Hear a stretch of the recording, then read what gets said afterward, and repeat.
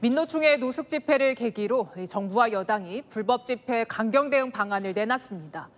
불법 집회 전력이 있는 단체에 시위나 출퇴근길 도로 점거를 제한하기로 했습니다.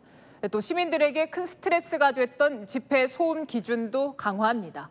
홍지은 기자입니다. 윤석열 대통령이 민노총 건설 노조의 노숙 집회와 관련해 강경 대응을 주문한 지 하루 만에 당정이 모였습니다.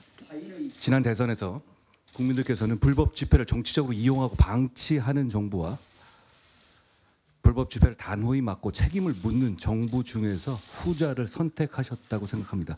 그것이 어, 우리 정부가 출범하게 되는 약속이었고 당정은 네 가지 대책을 발표했습니다.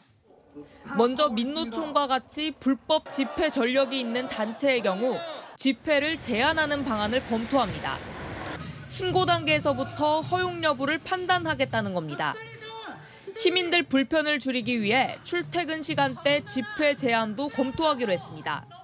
단체가 여러 가지 집회 그 시간이나 장소 또 집회의 예상되는 태양이라든지 이런 것들을 볼 때 직접적으로 위협을 끼칠 것이 명백한 경우에 제한하겠다.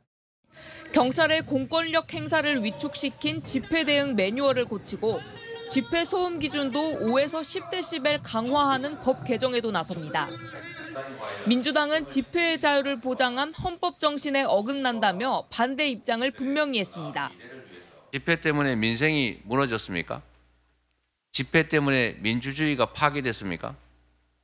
집회 때문에 무슨 문제 생긴 게 있습니까? 경찰은 내일 지난 정부 때 중단했던 불법 집회 해산 훈련을 6년 만에 실시하기로 했습니다.